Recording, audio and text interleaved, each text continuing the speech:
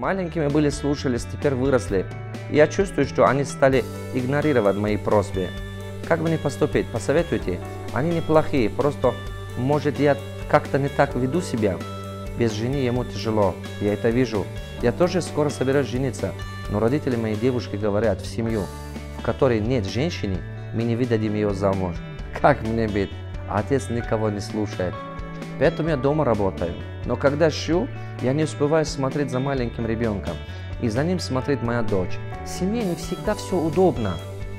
Вы думаете, что у меня все так удобно и гладко? Да нет.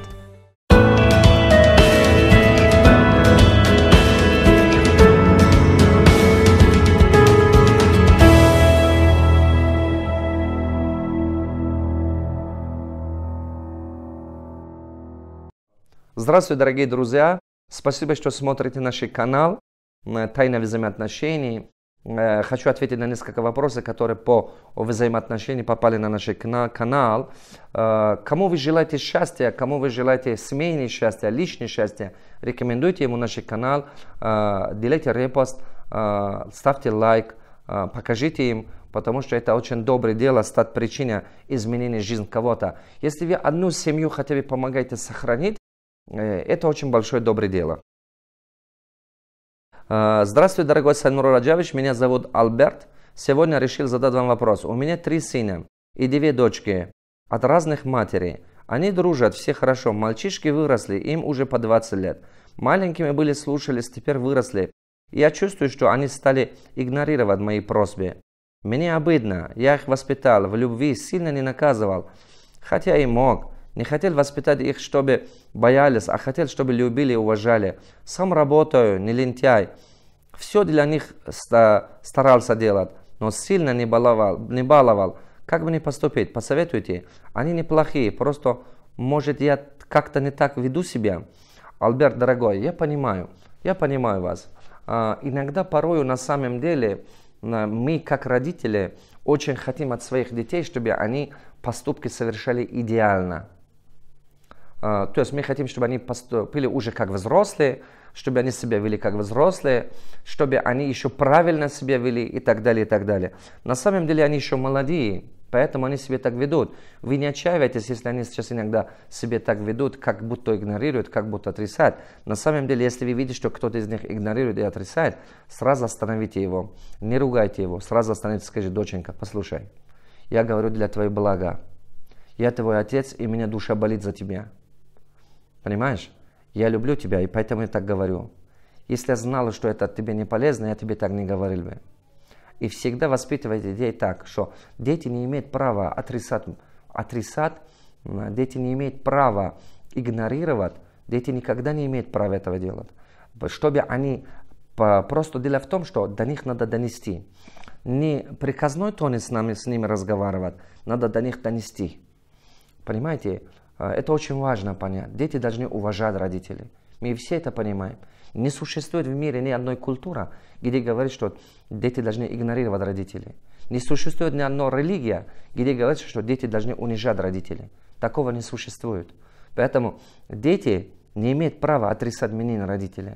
А чтобы они понимали этого, но родители тоже должны стараться до них донести.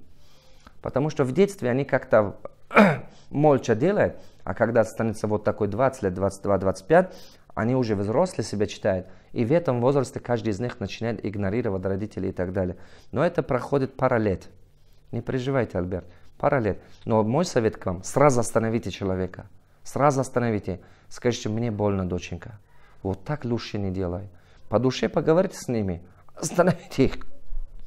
Остановите их, чтобы они понимали, что лучше э, лучше поговорить по душе и правильно решать вещи, чем сидит, а потом в голове накручивать всякие ненужные вещи. А, все вещи решаются, когда по душе поговоришь. Общение решает все проблемы. Понимаете? А, вкладывайте усилия понять их. Скажите, доченька, скажи, пожалуйста, а, что я могу делать, чтобы ты себя вела так? Что я могу делать так, чтобы ты это вовремя сделала? Что я могу делать так, чтобы ты хорошо училась? И так далее, и так далее. Вот так, тогда они будут послушными. То есть они поймут вас лучше.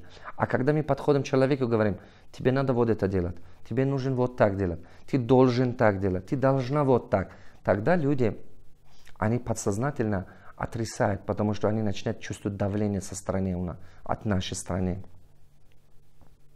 Здравствуйте, Санмурат Давлатов. Мне 21 год, мои родители уже давно развелись. Отец э, проживает дома один. Мне приходится работать в Москве. Я домой приезжаю раз в год на несколько дней. Я ему говорю, женись, он не соглашается. А я здесь в Москве переживаю за него, как он там живет один. Дайте мне совет, что мне делать. Я ему по-разному говорил, женись, а он все равно игнорирует мои слова. Без жены ему тяжело, я это вижу. Я тоже скоро собираюсь жениться, но родители моей девушки говорят в семье, вся, говорят в семью, в которой нет женщины, мы не выдадим ее замуж. Как мне быть? А отец никого не слушает. Жду вашего совета. Заранее спасибо. А, ты молодец, дорогой. Ты правильно делаешь, что отцу говоришь, что женитесь. А ты приходи к отцу по душе поговори. Понимаешь, почему он не хочет жениться? Потому что он разочаровался от женщины. Понимаешь, есть такая поговорка народная. Если ты один раз обжегся из горячего молока, ты даже кефира боишься. Поэтому э, он просто обжегся, возможно, ну так получилось. Мы не говорим, что это вина мама, это вина отца, нельзя никого обвинять. Как есть такие ситуации в жизни. Поэтому случилось так, значит так случилось. Э, ты, ты должен любить и маму, и отцу. Они твои родители. Независимо от того, между ними что произошло. Ты должен любить и то, и то. Люби их. Они твои родители. Что бы мама не говорила, что бы отец не говорил про маму, что бы мама не говорила про отца, они твои родители, ты должен их любить, уважать. Неустанно предлагай обязательном порядке, чтобы отец женился. Неустанно предлагай. Один раз предлагай, два раз предлагай. Найди ему хорошую женщину. Ты сам найди ему хорошую женщину. Да, это так. Во все времена дети так и делали. Во все времена дети так делали. Найди ему хорошую женщину, познакомь его с кем-нибудь. Вот увидишь, тогда у него будет все нормально. Здравствуй, Садмур Раджабович. Хочу задать вопрос. У меня маленький ребенок и дочь 18 лет. Я работаю дома. А, на домнице шью. Мне эта работа очень не нравится. Но, это, а, но от этого какая-то помощь мужу. Он работает в России на заводе и просто очень хорошо смотреть за детьми. Поэтому я дома работаю. Но когда шью, я не успеваю смотреть за маленьким ребенком. И за ним смотрит моя дочь. Также я вяжу на продажу. Мне очень нравится. Но это очень долго. Еще нужно их продать. Посоветуйте, шить мне дальше или нет. Но несколько раз хотела продать машину. А, но придумала, боясь остаться без работы. Моя мечта вязать оригинальные вещи деткам и взрослым, но у нас ручной труд. Не ценится, постоянно нахожусь перед выбором. Э, здравствуйте, дорогая, еще раз. Э, то, что вы шьете, это правильно. То, что иногда за маленьким вашим ребенком старшая ваша дочка смотрит, это тоже нормально. В семье это нормально. Понимаете? В семье не всегда все удобно. Вы думаете, что у меня все так удобно и гладко? Да нет. Понимаете? Чем отличаются успешные люди от обычных людей? Успешные люди делают то, что надо. Даже иногда, порой, если это им не нравится. Если даже это им неудобно. Даже если это не гладко и не все вообще, можно сказать, хорошо. Но надо это делать. Это похоже, что ваш ребенок ночью проснулся, ваш ребенок, и плачет сильно. Но вы очень уставшие, вы не хотите вставать. Но ребенок продолжает плакать. А что вы делаете? Вы встаете или ребенку скажете, эй, вот, все, иди плачь сколько хочешь, я не хочу вставать. Представьте, что у вас маленький годик ребенку. Соответственно, вы встаете, вы будете ухаживать за ребенком. Так? А почему? Потому что вы так сильно хотели по ночам вставать? Нет. А почему? Потому что вы так мечтали по ночам так ходить вокруг комнаты? Нет. А почему вы так делали? Потому что так надо делать. Это ваш ребенок. Так надо. Поэтому я что хочу вам сказать. Надо делать все так, как надо, а не так, как, как вы думаете. Поэтому э, для семьи это надо делать. Муж работает, он старается, он правильно, он надеется на вас, что за детьми вы хорошо смотрите. И вам тоже нелегко, но по чуть-чуть делайте. Продолжайте делать. Это ваш вклад в семье. Вы никогда не сожалеете о том, то, что вы помогаете свою семью создать счастливую, помогать своим детям быть обеспеченными, успешными. Вы никогда не сожалеете об этом. Так что продолжайте делать. Машинку не продайте, продолжайте шить и продавать. Потихонечку научитесь, и у вас появится эта навык, эта способность, у вас появится рынок. Откуда вы знаете? Если вам Аллах давал какую-то способность, через эту способность дает вам риск, дает вам уда, ваш удел, понимаете? Продолжайте делать.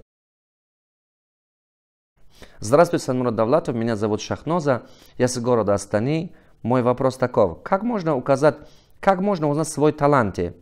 Я очень применчивая девочка, мне 22 года, сейчас работаю и учусь.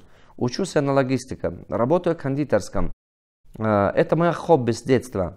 На учебу я поступила не по своему желанию. Вот можно сказать, ищу себя уже 2-3 года, но никак не могу найти свое дело. Кондитером я до, кон, до конца жизни думаю, не смогу работать, так как, как не чувствую это на 100%. Очень хочу найти свое предназначение. Помогите, пожалуйста, дайте мне свой совет, что делать дальше. С уважением, Шахноза.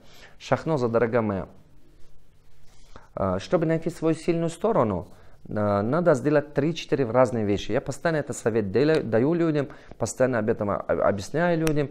Делай так. Первая вещь. А, что у тебя хорошо получается? Что у тебя очень хорошо получается, что ты не устаешь. Ты делаешь это с радостью, но перед этим ты не устаешь. И ты любишь это делать. Это первое. Займись этим. Вот это твой талант. Богом дано. Второе распиши 10, распиши 10 направлений, чем ты могла бы заниматься. 10 направлений. Одно из них пусть будет кондитерское, другой пусть логистика, третий еще что-то, еще что-то. Что ты могла бы делать? А потом из этих 10 направлений выбери одну из них по трем критериям. Критерии какие? Что из них легко у тебя получается хорошо, что из них больше всех денег принесет, что из них меньше всего время займет. И все, займись этим. У тебя все получится. Третий совет – Месяц медитируй, в течение месяца. Постоянно себе спрашивай, на что я готов потратить свою жизнь. Ты же молодая. Задавай себе такой вопрос постоянно, на что я готов потратить свою жизнь. Что было бы для меня интересно? Какую жизнь я хотел бы прожить? Задавай это себе вопрос неустанно до тех пор, пока ответ не найдешь. Может быть, через три дня ответ появится. Может быть, через неделю. А может быть, через год. Но продолжай задавать этот вопрос. Но он точно появится. Дорогие друзья, ставьте лайк под нашу рубрику, э, рекомендуйте нашу рубрику своим знакомым друзьям, э, кому вы считаете, что это помогает, кто нуждается, кому вы пожелаете счастья. И обязательно, пожалуйста, делайте репост. Э, свои вопросы задавайте на почту, которую видите под эту рубрику. А именно в комментариях пишите свои, скажем, мнения комментариях, но туда вопросы не пишите, потому что на этих вопросах я не отвечаю. Пишите на почту, которую под это видите. Открывайте, там кнопка с еще. Открывайте, посмотрите, где проходят ближайшие наши тренинги. Посещайте тренинги. И посмотрите, там есть список, а, где можно, какие книжных магазинах можно приобрести наши книги. Ищите, найдите наши книги, почитайте их, и они вам помогут. Спасибо вам, до новых встреч.